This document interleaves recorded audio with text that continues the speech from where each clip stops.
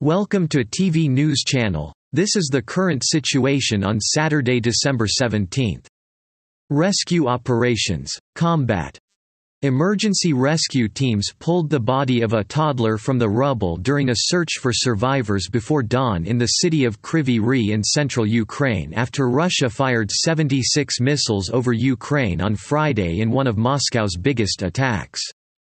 Mayor Ihor Terekhov said the attacks had caused huge damage to infrastructure in the Ukrainian city of Kharkiv and mainly affected the energy system. The mayor of the Ukrainian capital, Kyiv, said the system the city's metro system is back up and running and all residents have been reconnected to a water supply a day after the latest Russian airstrike. Russian state news agency TASS reported that Ukraine's shelling of a Russian-controlled village in the Luhansk region of eastern Ukraine killed at least 11 people on Friday and left 20 missing. Incident. Moscow said that their attacks were aimed at neutralizing the Ukrainian army. Ukrainians call them war crimes.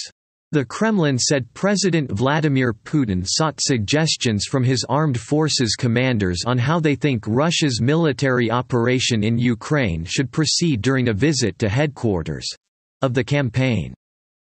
Diplomatic Hungarian Foreign Minister Peter Szijjártó told Al Jazeera that winter in Ukraine would be a great tragedy.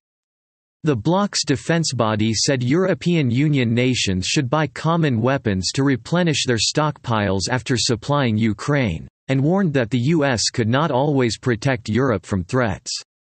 Insurers may refuse to cover flights to Ukraine or ships passing through the Black Sea when reinsurers, who underwriters for insurers, propose to exclude the area from policies from next month, four industry sources told Reuters news agency.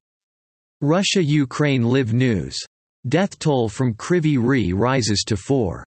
Rescue forces have found the body of a one-year-old boy from the rubble after a Russian airstrike on a residential building in the city of Kryvyi Rih, central Ukraine, brought the death toll to four. Ukraine's local government said air raid sirens sounded throughout Ukraine, including the capital Kyiv, a day after Russia carried out a major missile attack on critical infrastructure. President Vladimir Putin sought suggestions from his armed forces commanders on how to conduct the Russian military operation in Ukraine during a visit to the operation headquarters. The European Union's latest round of sanctions against Moscow will only exacerbate problems within the bloc, a spokesman for Russia's foreign ministry said after it decided to blacklist nearly 200 more people and ban investment in Russia's mining industry among other steps. A shield is being set up over the used nuclear waste storage area at the Zaporizhia nuclear power plant in southern Ukraine to protect the plant from artillery and aircraft, a Russian official said. Driverless Russia continues to launch large-scale missile attacks on Ukraine.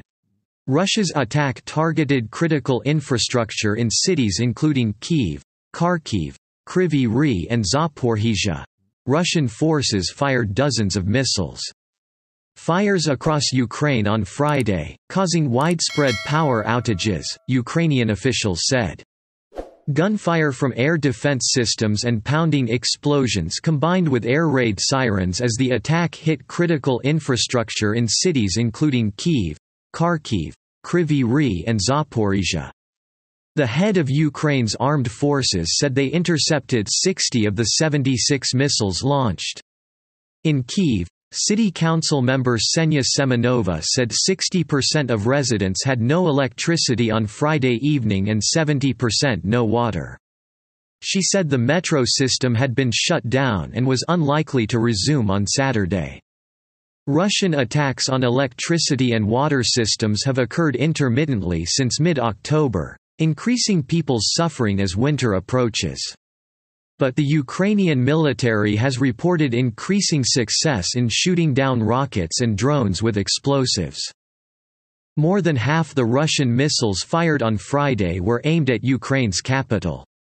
The city administration said Kyiv withstood, one of the biggest rocket attacks, it has faced since Russia invasion Ukraine nearly 10 months ago.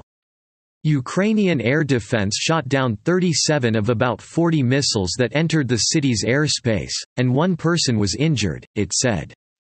In Kryvyi Rih, President Volodymyr Zelensky's hometown in central Ukraine, the apartment building hit by a missile had a gaping hole in its upper floors.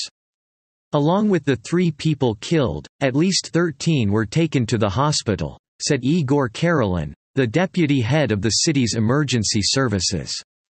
Rescue teams with sniffer dogs searched through the debris for a missing mother and her 18-month-old child. Also in Kryvyi Rih, nearly 600 miners were stuck underground of the missile attacks, but were later rescued, Mayor Alexander Vilkul said on state TV.